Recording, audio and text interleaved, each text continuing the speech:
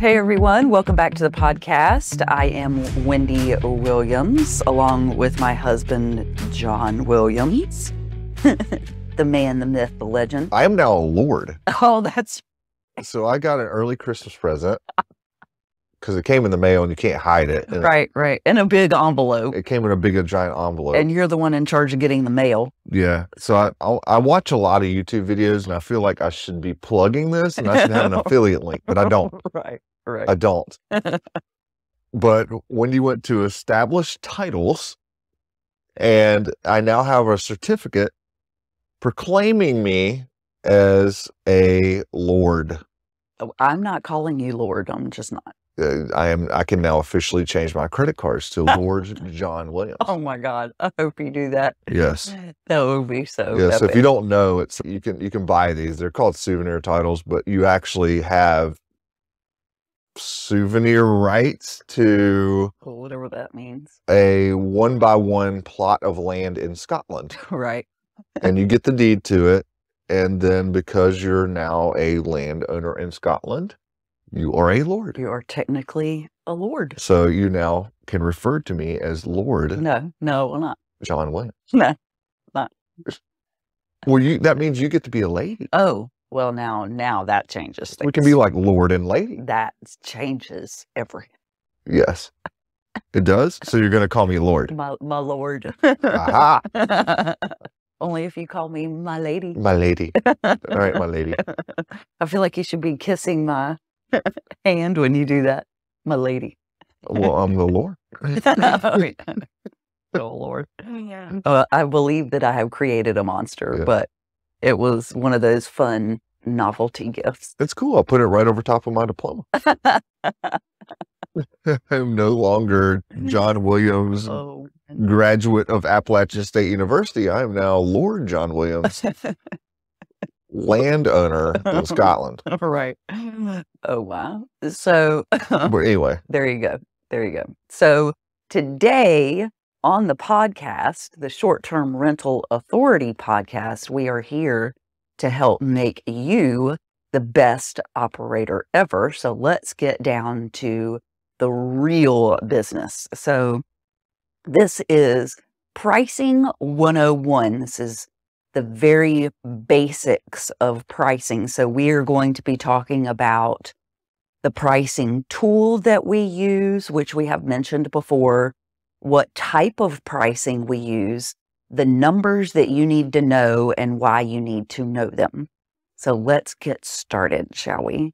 This is something that we get asked a lot about by just about everybody because pricing, I feel like, is one of the hardest things to do in the short term rental space, don't you think? it is. It's it's one of the the harder things because there it's it's not an exact science. Yeah. A lot of it. Sometimes it's it's a little bit of an art to it, mm-hmm. and then there are different strategies Right. that go along with well, how do I price, Right. right? And how do Well, let's talk about the basic strategy. So that's that's where we should start. It's just the basics. we should. yeah. And I, I think that really starts with knowing your numbers. Okay. And when I say knowing your numbers, we talked about this before, but bears repeating. You need to know what is your baseline? Like, what does a night cost you? We call that your break even. That's what we call that. Well, it's not in quotes. It really is your break even. Well, I'm, I'm saying that's what we call it. Well, that's what you call it in Yeah. business, I think. It's break your, even. it's your But yeah. break even number, right? Yeah, but it's your break even number, and it's basically if no one stayed there. If you had this house, you had this apartment, you had this whatever you got, your Yeah. what house. what does that thing cost you on a monthly basis to just have and operate? And that could be either whether you own it or whether you are leasing it. Yeah, it doesn't matter. it's, doesn't just, it's matter. just what are your total expenses if no one stayed there. So here's the things it doesn't include because that's probably easier to say. It doesn't include cleaning. Right. It does not include cleaning. because nobody stays there, so there's no cleaning. right. It doesn't include supplies because Right. if nobody stays there, there's no supplies. But there are certain things you still have to pay. You still have to pay rent. You have to pay your mortgage. You have to pay Electric your bill. utilities, Yeah. which are technically a variable expense, but in this case, we treat them as a fixed expense because you don't turn off the power just because nobody's there, Right. right? There's water, there's your insurance that you're paying, there's any software subscriptions that you have. Oh, that's that's a really good point. You know, most of those charge you per unit or on an annual basis or something, hmm and you're paying that whether someone stays there or not, right? So that's that could be the the pricing software that you are using, which is what we use as PriceLabs. There are others out there, right? Like There's PriceLabs. Wheelhouse and Yeah, Wheelhouse, Beyond Pricing is another. There are many others I've discovered. Yeah.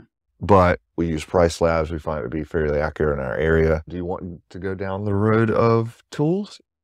well, yes, but just Price Labs. Okay. Well, when I hear the normal thing I would tell somebody is that PriceLabs is a tool. You should be using it. What it does is it does what's called dynamic pricing. So instead of doing something simple like, hey, my place is $150 a night every night, regardless of the night, or doing something like, okay, well, it's $100 during the week and it's 150 on the weekends what this tool does is it actually prices out every single night Differently, differently. just about. and it bases its pricing on first of all, you give it a a base price to work with. It may suggest one. And then what it does is either takes that base price and either lowers it or raises it based on a number of factors. One of the primary ones being demand. So your holiday is going to be more. Your Monday mm-hmm. in the middle of July, or not July, but January is going to be lower. Right. Using that because that's our low season. Because January sucks. In general, pricing days further away, meaning further out or more, days closer in or less, because it's what it's trying to do is get your days booked, right? And that that kind of goes back to the what is your strategy of pricing? So in general, we need to then first discover what are our expenses, hmm right? So we know how low we can go. Yeah, what does a a day cost us? Really critical number to know. It is because if you think about it, it you're basically taking what would be a wholesale purchase, Mhm. meaning a, a whole year's worth of availability, Yeah. And you're dividing it up into nights, probably, and then selling nights. So it's it's much like the same thing as you would go to, you know, a wholesale place like a Costco or a Sam's Club or whatever, and you would buy whatever it is in bulk. It could be water, it could be candy, it could be uh, paper. it could be ice cream. Ice cream. The the ice cream lady that comes around that's right. Yeah. and that's sells it out of the does. truck, she buys those at Costco. Yeah. But she buys them in bulk, so she gets a little bit of a discount. Mhm. And then for the convenience of she pulls up in the ice cream truck and it's cold and you just go out to the end of the driveway. Well, the ice cream she paid 25 cents for is now a dollar fifty. Right. Yeah, she just recently upped her prices, I noticed. No, she did. Yes. Okay. Well, it used to be a dollar. Now it's a dollar fifty. everything's inflated. Everything's inflated. now, Everything's inflated. But the idea is you, Even the ice cream truck lady. even the ice cream truck lady, Mhm. that's sad. I know. It is. But, but anyway, what were you talking about? I was saying buy it, buy it wholesale, right, sell right. it retail, basically. And it's the same thing that we're doing with our pricing. So we need to know what is that wholesale cost and it's your expenses. You got a formula for that? I have a rule of thumb for that. Oh, okay. All right. A rule of thumb. Yeah. So the the actual answer is what are your real expenses and do you have a bookkeeper and do you keep track of that? Hmm.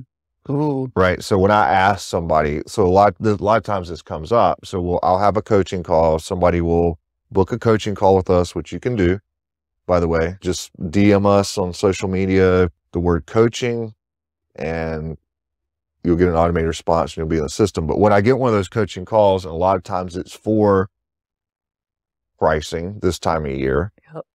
right? And the first thing I'll ask is, okay, well, what are your expenses? You know, if nobody stayed there, same same idea. If nobody stayed there, what what does this place cost you a month? And somebody will tell me it's about eighteen hundred bucks, or it's two thousand dollars. And from the response, I immediately know that they don't know what their actual cost is because it's not it's not an even number. Right. It's not an even number, Right. Right? I'd rather someone tell me it's one thousand seven hundred and thirty-two dollars and eighty-six Right. now I know that you actually looked it up and know what your cost is. Right. Can I can I just stop you right there Yeah. because as a practical matter, I feel like it it's important to tell people that that that is actually something that you should be tracking. And and your bookkeeper will hopefully be doing that for you. So big huge plug for go get a bookkeeper. And and if you're just getting started, there is a rule of thumb out there for that. Right. So when you start a new unit is really what you're saying. Because it, Yes. could be, hey, we've been doing this for a while. If we go up new, you know, open new units in a wholly different market, we don't know either. Yes. Like there are tools out there that we've talked about, like AirDNA and things like that, and we've talked about why that's not as accurate as it could be.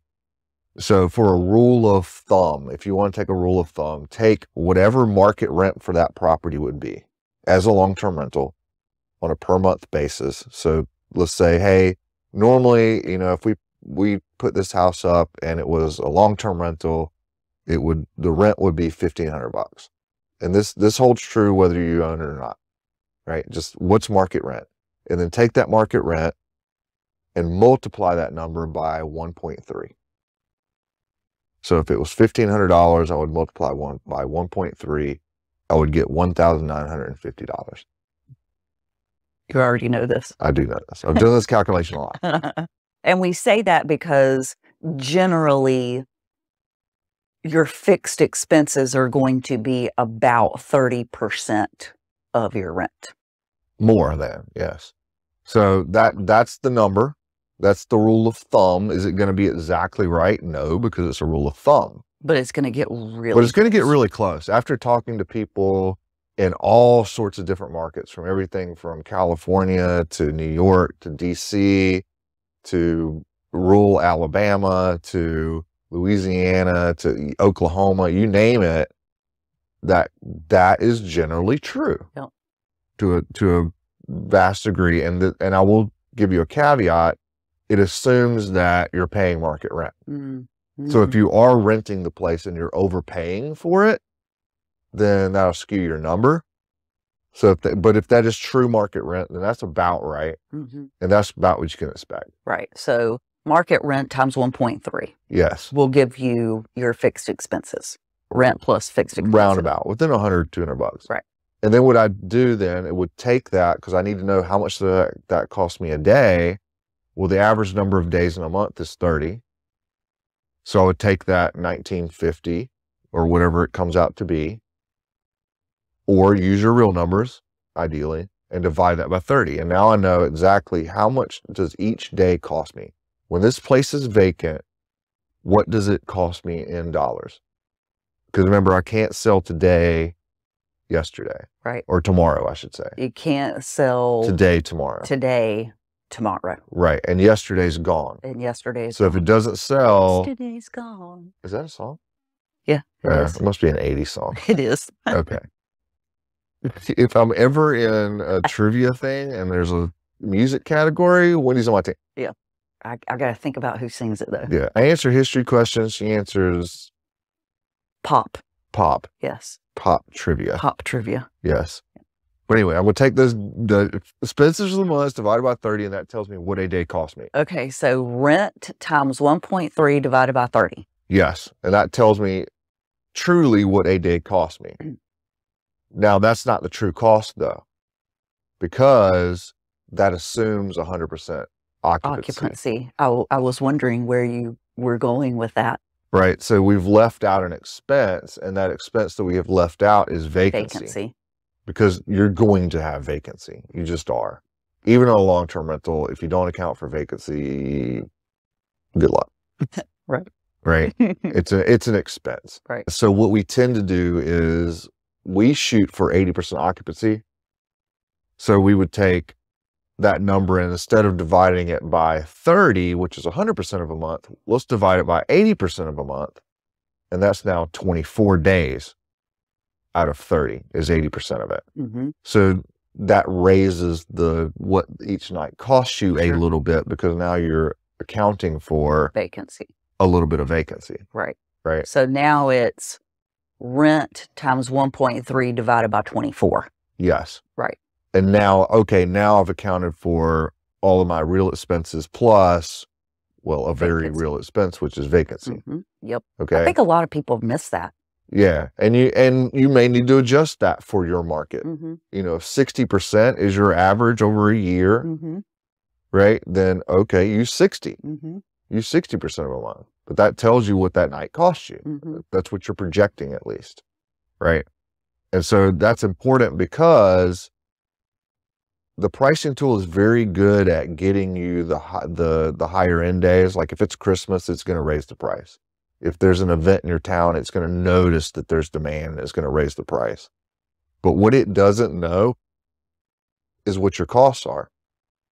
It doesn't know how low you can It doesn't go know how low you can go and you have to tell it that. unless you tell it. and if you don't know your numbers, you can't tell it the appropriate thing. Right. Right. And that's why it's important for you to know that. Yes. So now you know, okay, here's how low I can go. And now that I know how low I can go, and then I realize that I can't sell today, Tomorrow. tomorrow, that means that today should always be at my minimum. Yes. So if today is vacant, it should be at whatever I calculate at my minimum, or perhaps even lower. Or per- I was going to say, because I noticed sometimes it is lower. Yeah, sometimes I'll put it lower because I would, because if I know that a day costs me, for example, 50 bucks, like I did the calculations, I figured out, okay, a day costs me $50. I would rather sell it for 25 than lose 50. Because if I sell it for 25, I only lose 25. Yeah. I mean, something's better than nothing. So it's kind of like, would you rather lose $25 or $50? Right. Because that's what it costs you Right. Right. if it sits vacant. Right. But at least in the tool, I can set that minimum because I know I can always do that. I know I'm always willing to break even. I, I like the analogy of bananas on the shelf. Oh, this is a good analogy. Do this. So, ban- uh, but when you're selling fruit, but I'm using bananas, they they don't last forever, Right. They have a shelf life. right? And bananas they sit out, they get brown, and eventually nobody wants to buy them, and then you throw them out. So Well, if you can't, if you don't, Then you can use them for smoothies. Oh my god, you're gonna sell rotten bananas for they go rotten eventually. Well, that's true. right? the point is that the grocery store will almost give you the bananas that are bad because they're just going to throw them in the trash anyway. Right. Right. So the price gets lower and lower the riper they are. Right. And so it is with your your nightly rate as well. Today is really ripe and it goes rotten tomorrow. right. Right. It's going to go rotten tomorrow. So sell it for something. yes. Something's better than nothing. And if you can, sell it with a bunch of other days that you actually can reap some profit on. Sure. Right. Right. But the, the goal is really, for our first goal is always don't lose money. The second goal is, okay, if I got to lose something, don't lose all of it. Right. And then the third goal is, okay, now let's go make our profit elsewhere. Right. Right. So today is going to be at cost, At least. say, At at, least. least. at cost. But tomorrow's going to be maybe a little bit more. Right. And The then, each- next day is going to be a little bit more than that. Mhm. And the day after that's going to be a little bit more than that. So it's incrementally. right. And if you look a month ahead, then okay, now those prices are way up. hmm right? Because they're a month in advance. Right. So that that's the way it generally works. But what happens is people are afraid to go too low mm-hmm. because they're afraid. They're afraid if I set my place for twenty five dollars, then who's going to stay there, Yeah. Somebody that you don't want. right? And I and I get the sentiment, but there are ways to get around that that I won't get in that right now, where you can actually use that twenty five dollar day to get a week or a two week long booking that you wouldn't have necessarily gotten otherwise because you were afraid to go too low, hmm right? On a particular day. Right. So that it that's why I say there's there's a bit of science to it, there's a bit of an art to it, but if you want to take something away from that and you're using a pricing tool, go look at the calendar for one of your listings. And even if today is booked, it should tell you what did it calculate for today as a daily rate. So if today was vacant, what what number is it showing you? And it ought to be at your cost. And if it's not, Or lower. or lower, but the tool is only going to go to the minimum, Mm-hmm. which we gave it as cost, Mm-hmm. right? So it should be at cost. Mm-hmm. And if it's not, then the tool's not set up properly. And you might want to jump on a coaching call so I can help you with that and get get your tool optimized so it's actually working for you and not against you. Because if it in those cases it's actually working against you on the low end. Mm-hmm. Yeah, and and we can definitely help you out with that. Let me let me rephrase that. John can help you out with that. I can help you out to a certain extent, but John would love to talk to you about your pricing. I would. I like That- talking about that. That that is your specialty. You you were talking to a student just the other day, and not 15 minutes after you got off the coaching call, she got a Oh, seven. yeah, she got a yes, she seven got a night. seven night Yeah. she got a seven night booking after y'all made those changes. So hop on a coach call with us. But we would love to to help you out with with that pricing and that pricing tool and getting that tool set up and making sure that first of all you're using a pricing tool and you know why you're using a pricing tool and you know how to use it. It's an expert tool that you need to learn how to use expertly as our mentor Jay Massey always told us, and we can teach you how to do that. So we would we would love to to help you out, to help you out with that. So Do we cover the three things? we did indeed. Okay. Yeah, you Well, did a great job, my lord. My lord. My lady. Yeah, don't get I'm, I'm giving me an affiliate link for that established titles, and we're going to put it in the YouTube there you go. There you go. I like it. YouTube description. Look for it. I like it. I like it a lot. so we hope you found some value in today's podcast. And if you did, go like and subscribe, and you will get notified of all the fabulous podcasts that we have available so far and the ones that are coming up in the future. And I have a feeling that 2023 is going to be spectacular. So we'll see you then. On to the next. On to the next.